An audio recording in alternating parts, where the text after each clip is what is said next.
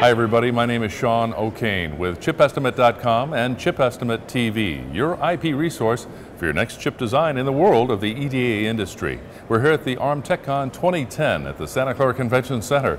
And my guest today is JP, Vice President of Engineering with nSys. Thank you very much for joining us Uh, today. Thanks very much, Sean. Thanks for having me. And nSys is basically everything you ever wanted to know about verification IP. Absolutely. That's it. So let me let me ask you how how do you collaborate with ARM in regards to the ARM AMBA protocol? Sure. So, Sean, as you might be knowing, we at nSys offer the world's largest portfolio of verification IPs, and AM AMBA being uh, one of the key components of that portfolio.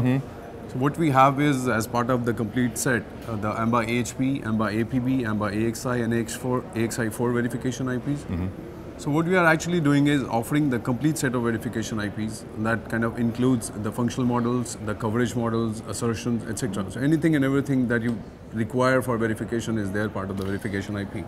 That's perfect. And how, how does nSys work with the ARM community in relation to your IP? So as I said, so if you're working on your design which is based on ARM, what you need is for your verification is pre-verified models, right? Right. So that's where we pitch in. We give you the verified, pre-verified verification IP, which, as I said, which has got the models, the assertions, the coverage, etc.